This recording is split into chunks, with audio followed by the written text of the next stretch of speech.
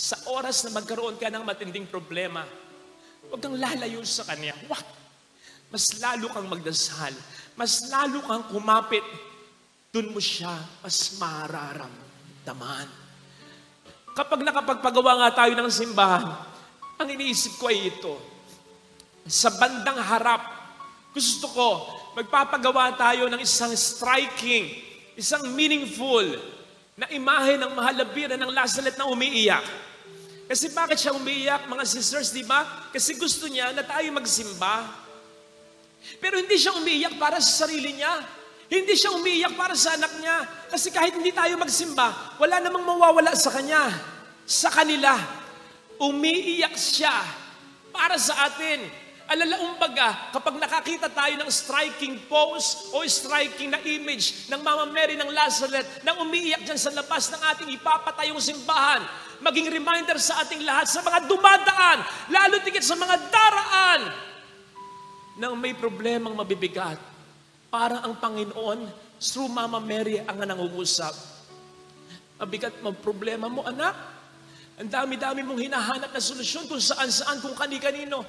Pumasok ka ng simbahan. Pumasok ka ng simbahan. Kausapin mo ang anak ko. Magdasal ka. Magsisi ka sa kasalanan mo. At mararamdaman mo ang yakap, ang paggabay, at ang tulong niya. Eh, personally, paminsan-minsan alam po ninyo, gusto-gusto kong tinitingnan yung mga pictures or edited pictures na makikita po ninyo ngayon. Edited ito sapagkat ine-edit na nandun si Kristo. Natatouch ako dito kasi ito'y larawan ng mga taong nalulumbay, nalulungkot, parang nasa gitna ng kawalang pag-asa, walang makitang solusyon sa problema, yung may picture nga dyan, parang malubhang malubha na. May picture nga dyan, parang gustong magpakamatay na. Ang hindi nila nakikita, ang Panginoon ay nakaakbay, nakayakap, umaakay, gumagabay, nakatunghay, pumipigil sa kanila. Di ba minsan nakakatakutan natin yung mga pictures na nagpakuha ka, nagpa-selfie ka, apa makita mo nung ma-develop, meron kang kasama. Hindi ganyan yung mga picture na yan. Nakawawala ng takot yan. Kasi ang sinasabi ng mga pictures na yan sa mga nakakaalam at sa mga nag-edit niyan, ano man ang problema mo, kahit yung mapigat, maniwala ka, andyan siya, kasama mo siya, yakap-yakap ka niya. Yun naman ang sabi niya eh. Iiwan ko ang siyam na siyam para lang sa isa. Hindi dahil hindi mahalaga yung siyam na siyam. Kung yung isa mahalaga, mahalaga rin yung siyam na siyam. Kaya lang, bilang isang mabuting pastol, yung isang pinaka nangangailangan ng tulong ko. Kasi yung siyam na siyam kong tupa, kapag nakita ng lobo, kahit gutom na gutom yung lobo, hindi niya atakihin. Mag-iisip siya, bakit? Isang kulutong eh. Malakas eh. Isang grupo eh. Pero yung nag-iisa kong tupa, pag nakita ng lobo yon, kahit busog na busog yung lobo, kakainin niya yon, atakihin niya yon, kasi nag-iisa eh. Kapatid, tayong lahat ay mga tupa dito ng Diyos. Pero kung ikaw ang may pinakamabigat na problema ngayon sa asawa mo, ikaw yung nag-iisang tupa na yon. Lahat tayo mahal ng Diyos. Pero kung ikaw yung pinaka may problemang anak sa magulang mo sa ating lahat, ikaw yung nag-iisang tupa ngayon. Kung ikaw ang pinaka nagigipit sa pera sa atin lahat ngayon, ikaw yung nag-iisang tupa ngayon. Kung ikaw yung may pinaka, may malalang sakit sa amin, sa atin ngayon, ikaw yung nag-iisang tupa ngayon, maniwala ka, yakap-yakap ka ngayon ng ating Panginoon. Mga kapatid, sige nga, sipin ninyo ha, kailan ba mas naging solid na solid ang pagkakilala ng mga disipulo kay Kristo? Sige nga, Sipin nga po ninyo, kailan?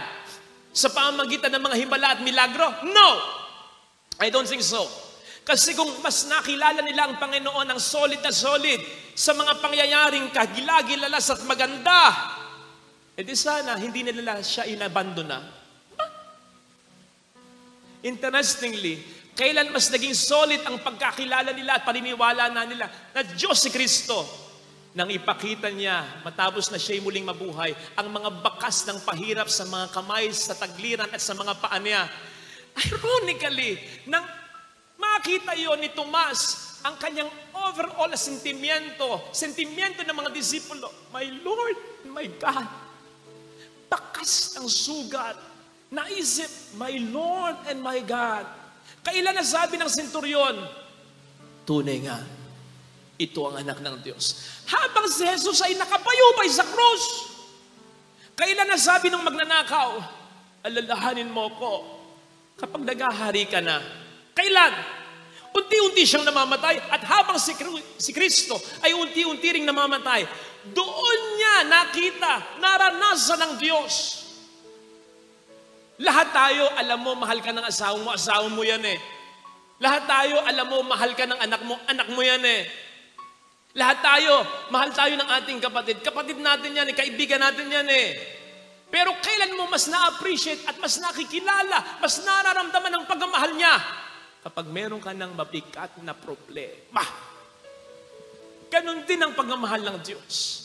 Hindi ko sinasabi na magdasal tayo, Lord, bigyan mo ako ng pinakamabigat na problema upang makilala kita. No! Ang sinasabi ko, lahat tayo po pwedeng dumaan doon.